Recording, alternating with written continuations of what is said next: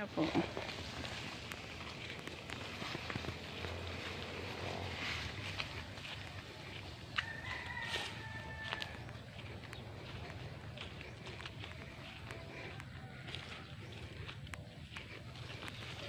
Ayun na po yung dalawa. Inahin.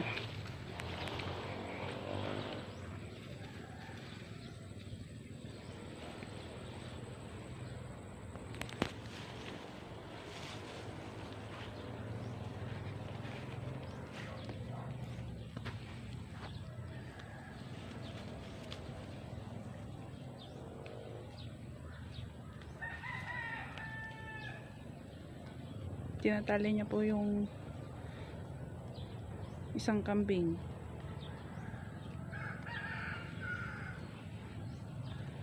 Para hindi makawala